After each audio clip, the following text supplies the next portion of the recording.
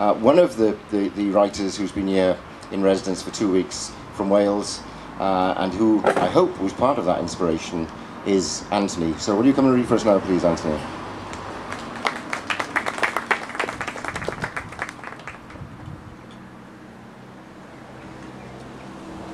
I'm sorry I got to do this. Oh, maybe not. Um, before I, I, I, I read, I, I would just like to say, um, and I might cry, uh, it's been a fantastic time uh, being with you all in Tranås for the last two weeks. Um, I hope I've made some lifelong friends. Um, we've engaged uh, on all sorts of levels with the people of Tranås. You're a lovely bunch of people. Give yourselves a clap, please. And I'd also like to thank um, the, the lovely journalists who've been putting us in the paper every day.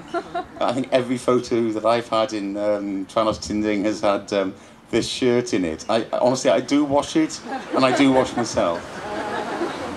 Okay, I, am going to read you two poems. Um, one is quite an old poem of mine, but hey, hey, only Dominic's heard it, so it's a great new audience. And um, also, then I'll read one I wrote about being here. Uh, this is about a dog. Um, do you know what a greyhound is? In, okay. He's a dog, uh, he's a greyhound. It's called the Quincy Question, that's his name. From my dog there hangs a question mark, upside down like the ones they have in Spain. It poses me oblique questions as it lashes like a bullwhip. And his, uh, and his sad eyes implore me, what? Tail tucked away, he's sleeping now, his half-closed eyes moving rapidly, and his limbs twitch involuntarily. I wonder if, like me, he dreams of sex and blood and death, of being hunter or hunted, or falling from great heights. In the morning, he wakes me from my dreams of sex and blood and death. His front claws sharp and stabbing like a Spartan spear, shocking me from my slumber. His blood is full, and so is mine. Am I the alpha male in this house? I must defer to him.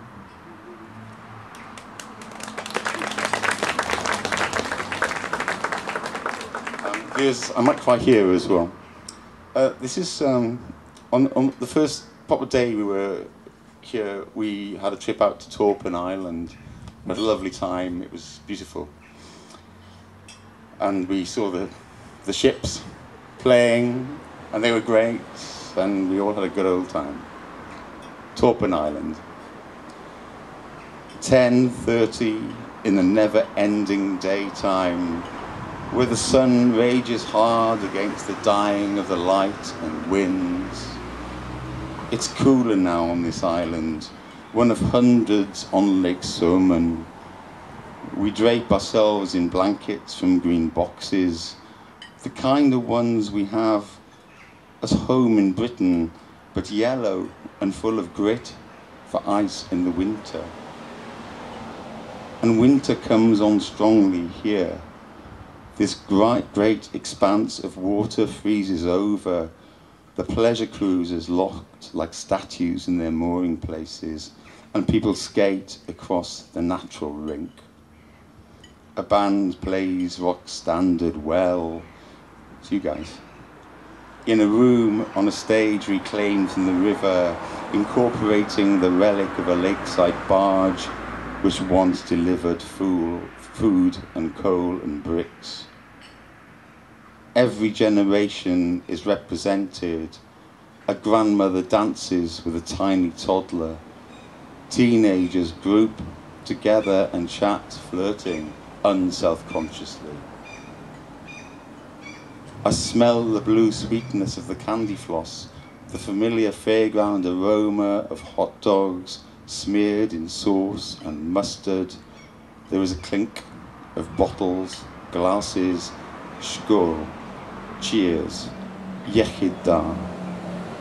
Drinks flow freely on this island, Everybody smiling, laughing, couples kissing, determined to strain the last drop of sunshine as winter nights are long.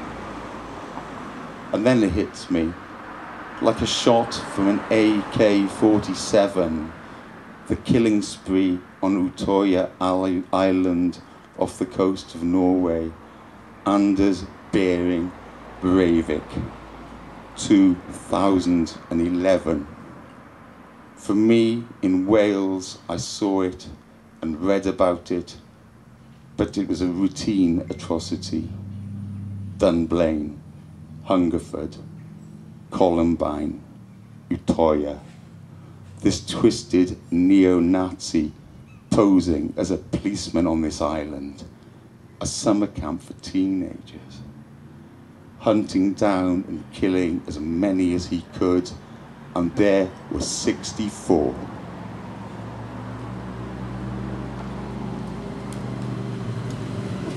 Some ran screaming into the woods, cut down by automatic fire. Others cowered silently, trying not to breathe, conscious of the heavy, pounding heartbeat. Could he hear it too? Others tried to swim for safety to the shore, easy picking, shooting fish in a barrel. I get it now. I understand why Scandinavian sensibility was splintered and outraged at this massacre. My eyes melt like Swedish snow in springtime. This does not happen here. How could it happen here? Thank you.